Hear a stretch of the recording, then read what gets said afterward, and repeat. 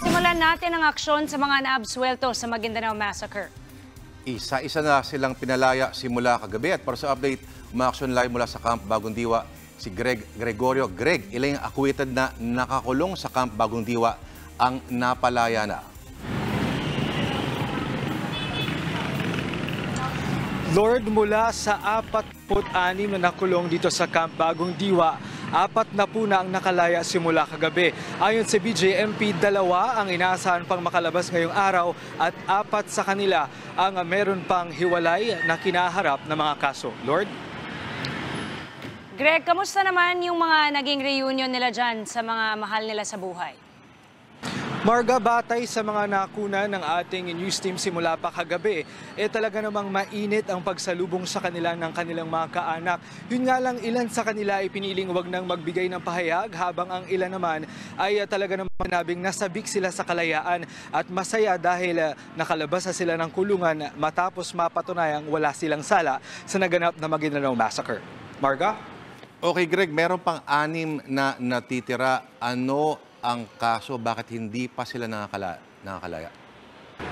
Lord, ayon sa BJMP, uh, lahat itong anim na tira, eh, kinailangan munang uh, i-check o tiyakin yung kanilang mga dokumento na wala silang ibang mga kaso. Yun nga lang, batay nga sa kanilang pagtataya, apat yung meron pang uh, kinaharap na hiwalay na kaso. Hindi lang mabanggit sa atin ni BJMP spokesperson, uh, Jail Chief Inspector uh, Xavier Solda kung ano yung kinakaharap na mga kaso nitong apat. At yung dalawa nga ay uh, posible nang lumaya ngayong araw.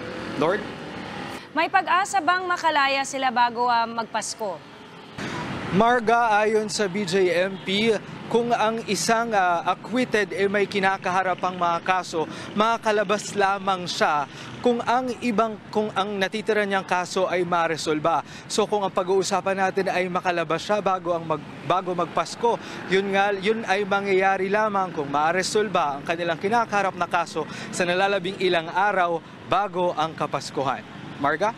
Okay, Greg, yung nakikita natin mga tao na nasa likod mo, yan ba lahat ba yan yung mga kamag-anak na naghihintay sa mga pinapalaya? At kamusta yung seguridad dyan sa area? Mukhang konti na lang yung nakikita natin mga pulis. Lord, itong nakikita niyo sa aking likuran, hindi yan yung, hindi lahat yan ay yung mga kamag-anak na naghihintay ng mga mga kalaya nilang kaanak na naakwit mula sa Maguindanao Massacre.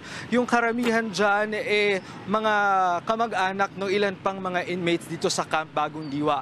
Ayon kasi sa NCRPO, merong anim na mga kulungan dito sa loob ng kampo, kabilang na dyan ang Quezon City Jail Annex, kung saan uh, kinulong si Zaldi ang patuan nitong mga nakaraang buwan at taon.